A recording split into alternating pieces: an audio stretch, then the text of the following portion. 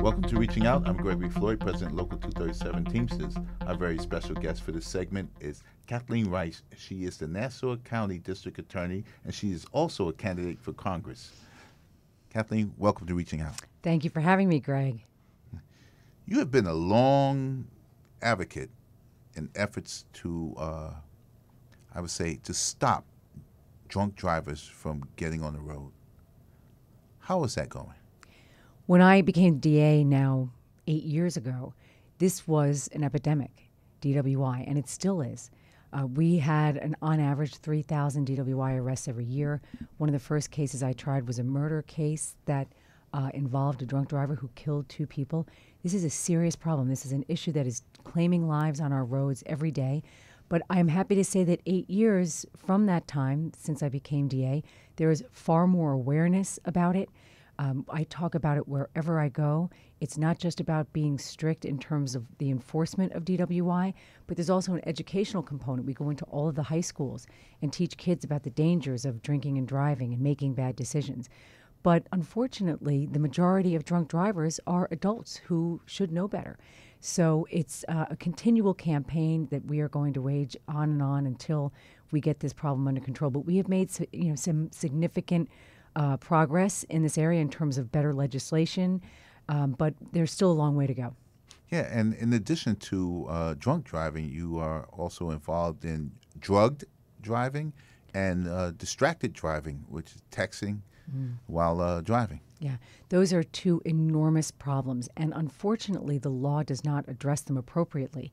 We have a case on trial right now with a young man who was speeding in his car and he was high on marijuana and he killed the four occupants of his car. He was he walked away, but he killed his four friends in the car. These cases are very difficult to prove, and you have to remember that it's in the context of a time in our country when more people are on prescription drugs than ever before, for whatever reason.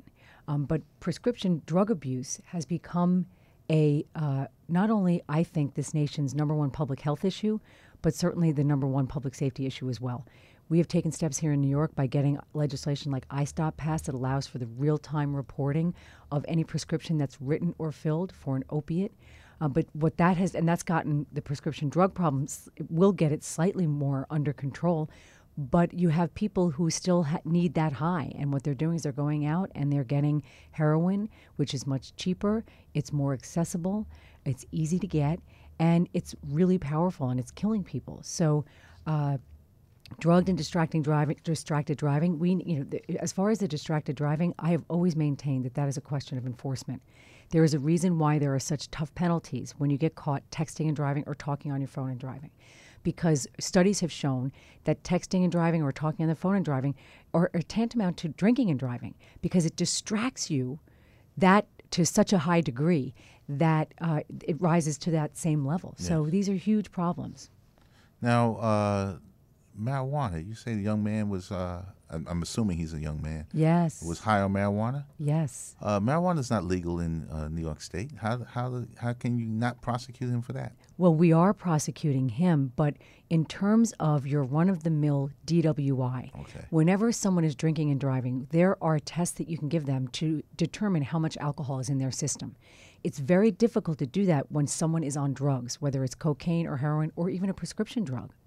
And so we're trying to get better laws on the books to allow us to more aggressively prosecute drug driving because that we are seeing in increased numbers, but it's very difficult to prosecute. In this case, we have we took the defendant's blood and we were able to tell how much T, uh, THC level, the, what his level was, his marijuana level was in his blood. But in your run of the mill drugged driving case, we don't have the ability to take the blood from defendants. And okay. so we have to go on visual cues that police officers are trained to look for. See the difference. Uh, you are now a candidate for the United States Congress. You are running for the seat that's going to be vacated by Carolyn McCarthy.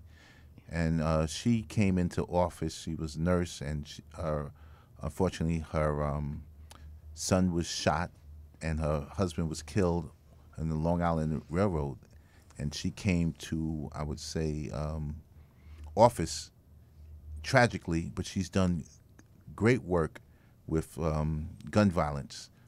Are you going to take up her mantle? There is no question that we need a strong voice in Washington on the issue of gun control. Carolyn McCarthy has been that voice, not just for New Yorkers, but for every American. And that is one issue that I'm going to be very proud if I'm elected to carry on in her um, in her stead.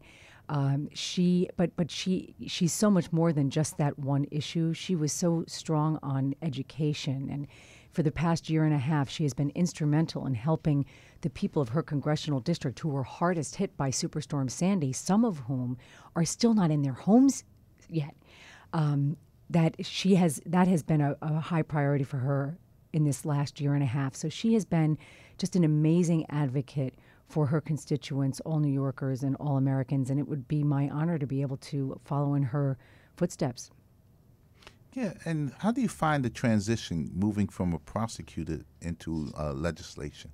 That's that's an interesting twist. Many have done it, but how do you see that office? There are definitely different skill sets involved in being an executive and being a legislator, where there's much more compromise.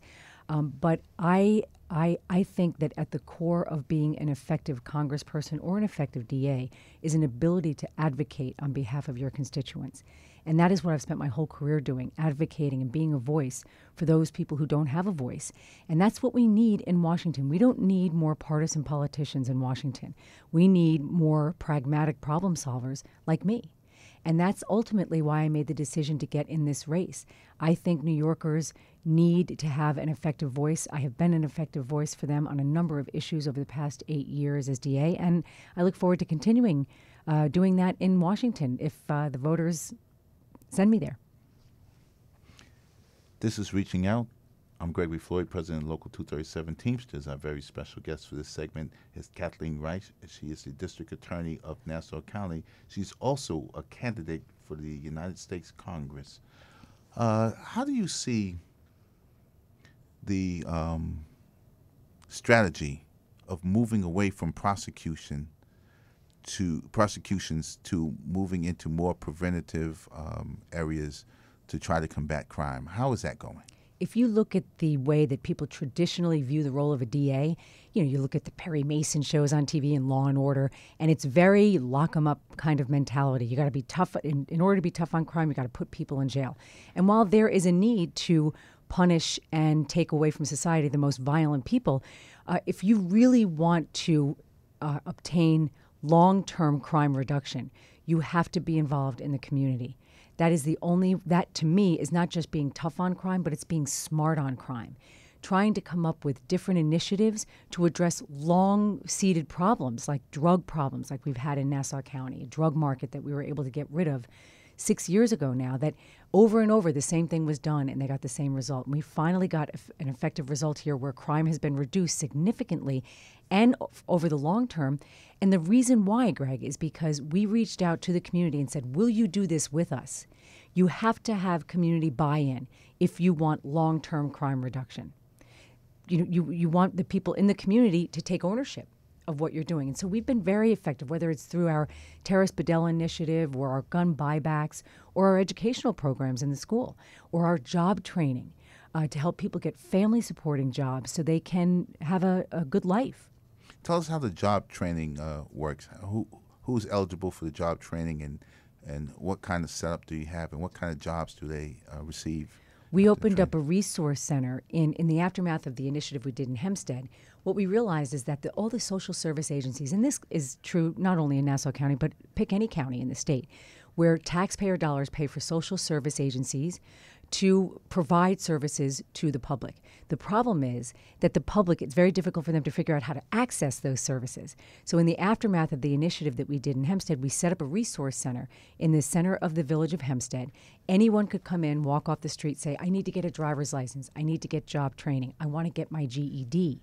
I need to get drug treatment. I need an after school program for my child so I can get a second job. And we have a resource coordinator there who will hook people up in a more efficient way with the services that they need. people want to work. People don't grow up and say, I want to be in and out of jail for the rest of my life. That's not a life anyone chooses.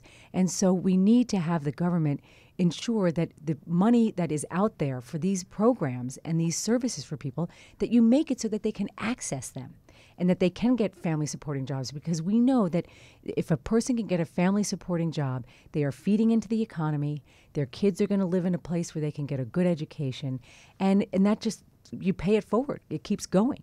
So I've always kind of seen it as much my role as much more broad than just putting people in jail because you're not going to arrest your way out of a crime problem. I don't care what the crime is. Right. Uh, that's all the ha- time we have for this segment of Reaching Out. I'm Gregory Floyd. President, Local 237, and a very special guest was Kathleen Rice, Nassau County District Attorney and candidate for Congress. And we would like to have her come back when she's a Congresswoman. So we have Congresswoman Kathleen Rice on the show.